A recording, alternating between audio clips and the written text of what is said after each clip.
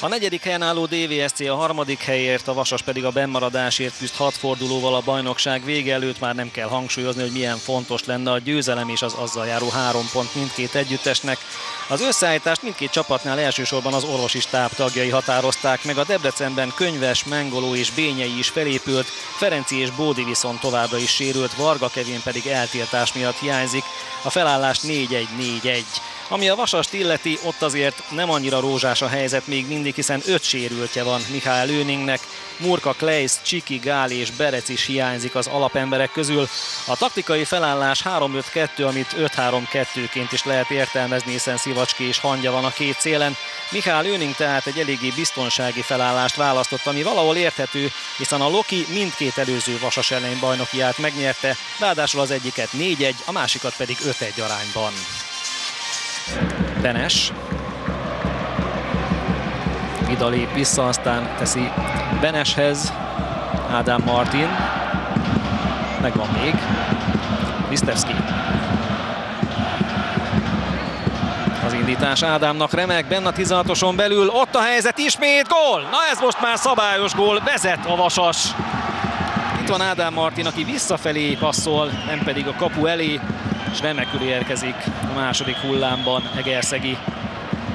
Ketten is előhették volna, Egerszegi tette meg ezt végül, és gól a jutalma. Lisztevszki rúgja el, Ádám Martin tartaná meg Szatmári mellett. Úgy tűnik, hogy sikerül neki, hangya zárkózik a bal oldalon. Ádám szépen vissza, eddig remek támadás, hangya lassan lövőhelyzetben, Vida még tovább, Egerszegi lőhet, gól! 2-0-ra vezet a Vasas, Egerszegi második góljával. Nagy lelkesedéssel, komoly akarattal is. Nagyon pontosan ráadásul, gyönyörű támadás, és ez a lövés pedig kegyetlenül pontos. Szép játék. Vidának ez a mozdulata nagyon okos, Egerszegi pedig nagyon jól eltalálja. Azt nem foghatta Nagy Sándor. 2-0 tehát a Vasasnak. Filip vissza Tőzsérhez. Sós kapja, ez most nem lesz. Sós lőhet és megfogja Nagy Gergely. Megvolt az első komoly gólszerzési lehetősége a Debrecennek. Sós hagyta ki, hogy mondjuk azt, hogy nagy védett bravúrral. Tőzsér indítása remek, ezúttal is bennmarad egy vasas védő, és lábbal visszanyúl érte Nagy Gergely. Nagy bravúr. Ha megemeli Sós, más kérdés. Kinyik próbál hozzáérni, lecsorog, Jovanovic, rálövi, Niki a Nagy Gergelyről, és másodszor is előklözi. Újabb debreceni gólszerzési lehetőség.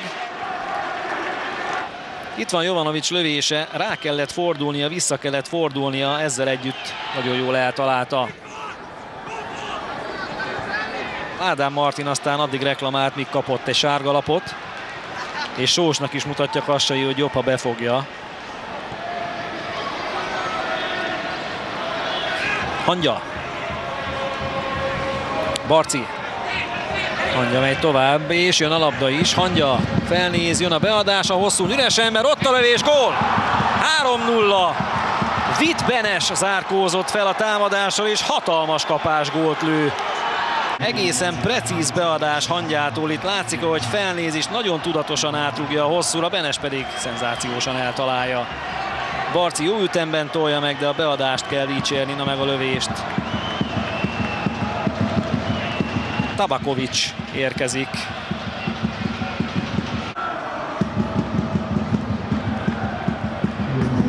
Jöhetnek a többiek most már. Benes indítása rossz, Jovanovics. Takács a hosszún, teljesen üresen, két ember, Tabakovics nézelődik. Sós integetni nagyon jön Jovanovics Tabakovics mellett, most jön a passz, ott a beadás és a lövés, Nagy Gergely fogja.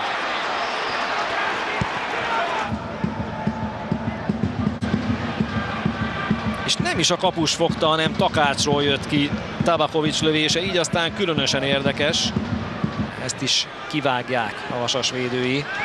Ádám Martin ütközi le ellenfelét, és Ádám Martinnak volt egy sárga lapja, ha jól emlékszem.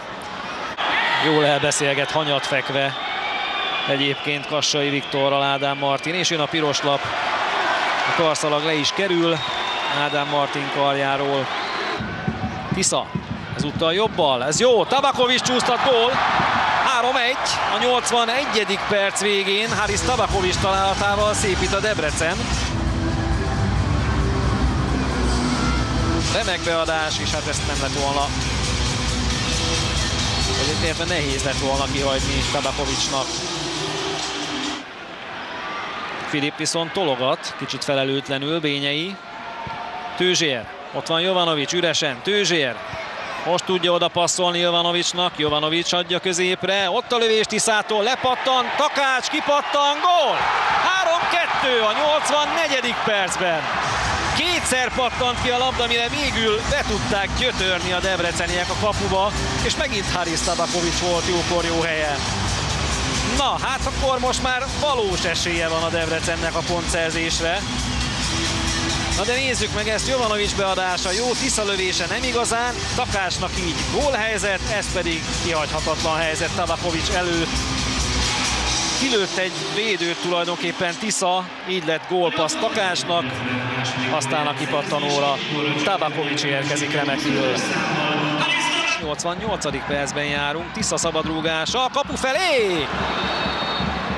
Kicsi híja volt.